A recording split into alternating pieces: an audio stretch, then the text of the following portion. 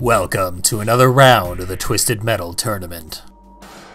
Stepping up to the plate today is one of my favorite vehicles. An old returning favorite of the series, Roadkill. Badly devastated beater with a driver that no one knows a thing about. So I'll just point out that he's shown wielding a gun here, as are many of the other drivers. Never actually happens in game though. Seems like a scrapped idea to me. Doctors said it was some kind of amnesia. No one could figure out who I was or where I came from.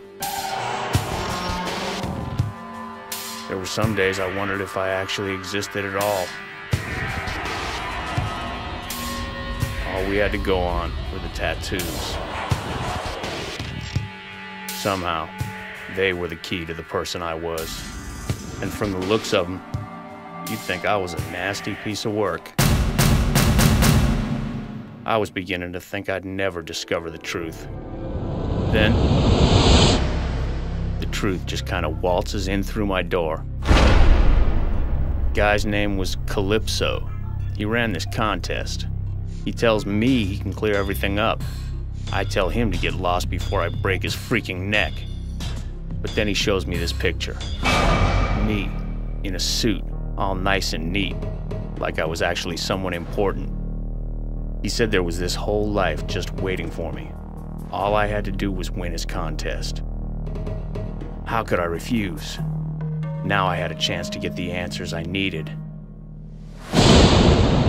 Let's face it, who wants to spend the rest of their life as a nobody?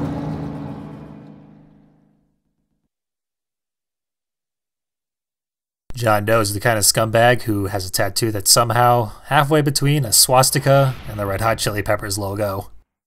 That's going to make it doubly difficult to redeem this guy, but at least he doesn't actively want to kill anybody besides the competition. And we're going to be doing that in a drastically different level from the last few we've seen. The downtown here is quite a bit smaller than the suburbs or the freeway. This brings with it a whole different set of challenges, particularly for a small vehicle like Roadkill here.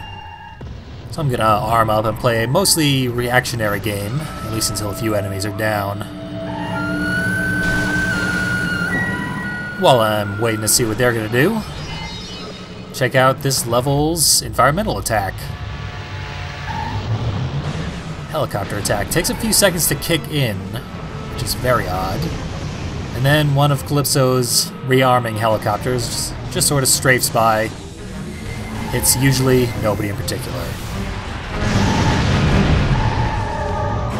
Isolated Darkside, as we often do at the beginning of these matches. I don't know why. She's just very aggressive. She did get to be the first to taste Roadkill's special. Did maybe a quarter of her health because I didn't quite get to fully charge it. If I had, it would have been closer to half. Bridge went invisible for a second there because it's a destructible object. And destroy it I shall. There it goes. That dumps Darkside into the polluted river below, giving us a chance to escape and collect the final of the skill-based pickups, the Reticle. Definitely want to try that out. It's an unbelievably powerful attack. Just need to find an ideal situation to use it. Of course, Darkside's back after us. She's not going to give us any breathing room. the way the reticle works is, once I hit fire, it will begin charging. When I hit fire again, it will unleash the missiles. The longer I wait to do that, the more missiles I get. If I had waited a millisecond longer, it would have done about twice as much damage. The increase in damage is exponential. And right there, my ricochet attack did a little extra damage because it bounced off a wall before it hit Sweet Tooth. There was Roadkill Special, which is very, very similar to the Reticle. You do have to hold the fire button and then release to fire the missiles. And once again, I did not get a full charge.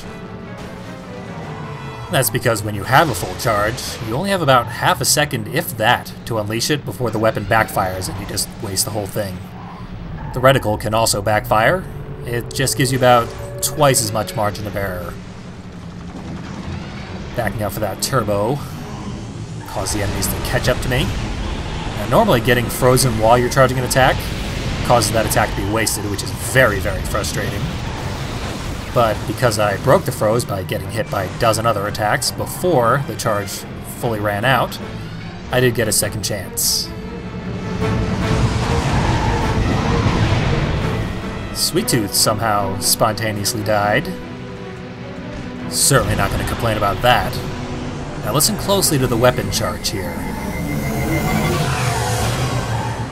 That little jingle right at the very end denotes that the weapon has reached full charge.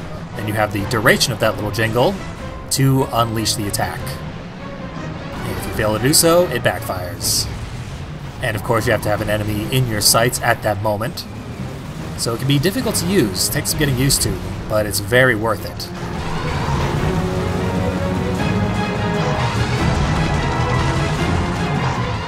It's going to even the odds in our favor, despite the fact that there are still six enemies left and we're at very low health. Well, the health crisis is solved. Now to do something about the enemy numbers. The gas can continues to be a great weapon because the bullseye bonus causes it to do just a ton of damage.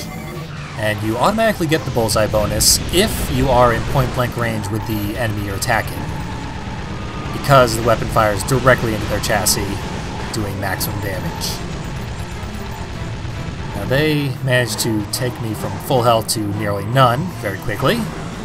Got caught in quite a bit of crossfire there. And still haven't taken out the very badly injured Crazy 8 who took the brunt of my damage. Would have tried to pin him down, finish the job, but now I have to make a hasty escape through the level's only secret. This level is based on a Twisted Metal 1 level, and it's very limited in destructibles. However, if we drop down to this precarious shelf, we can collect the black cube for the stage.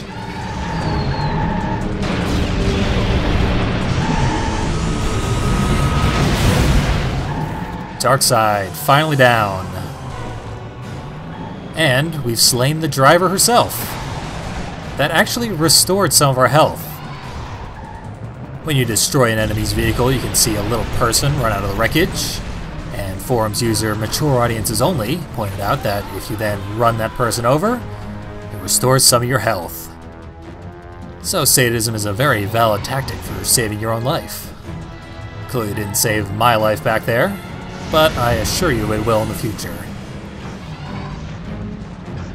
Unfortunately, this feature is not available in the PAL version of the game, because they censored out the little person who runs out of the wreckage.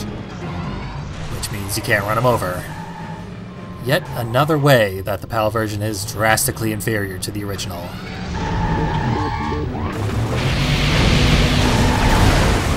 We got badly sandwiched between two very dangerous vehicles there.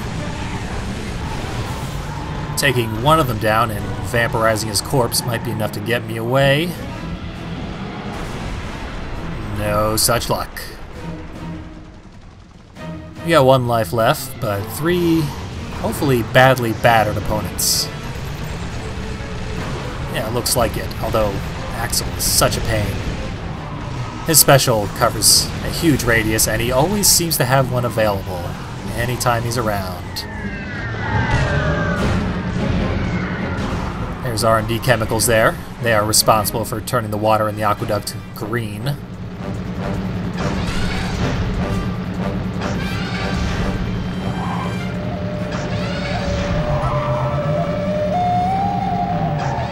We're just gonna enjoy the relaxing music while we prepare another reticle to hopefully save the day. Yep, one hit kill on Spectre, and it wasn't even fully charged. Just need to tie up one last loose end real quick and claim victory. Freeze frame on John Doe attempting to kill and devour yet another driver.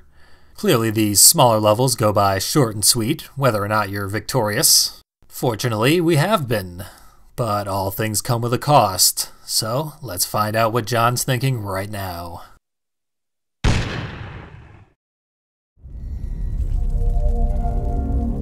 Must have been out for hours.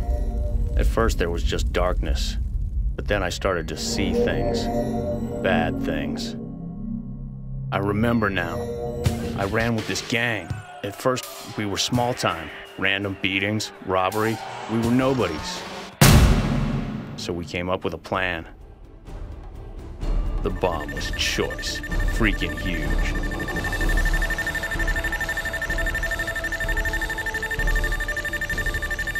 When that building came down, who knew what kind of viruses and diseases would spread across the world? It was glorious, instant extinction. Finally, for the first time, we were important. We were feared. And that's it. The memories end there. I don't think I like the man I'm turning out to be.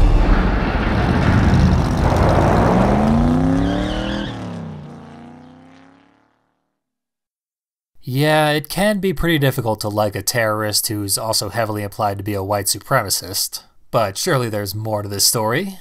Perhaps Calypso can tell John whether or not he's pure evil. I'd won the contest. Now it was time for the truth.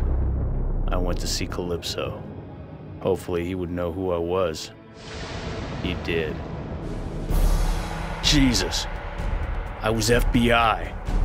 I'd been deep undercover for the last year trying to bust a doomsday cult in Midtown. Calypso said I was a hero. That night I rushed back into the building. I had to get that bomb as far away as I could, but there just wasn't time, so I took the quick way out.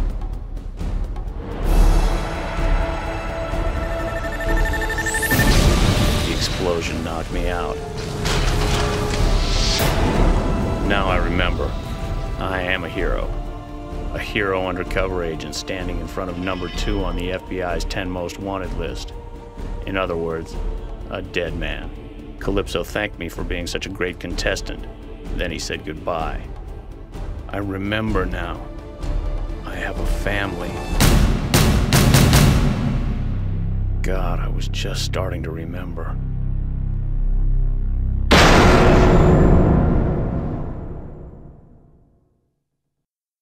Alas, our nameless hero is anything but pure evil, and in the eyes of Calypso, that's a huge mistake.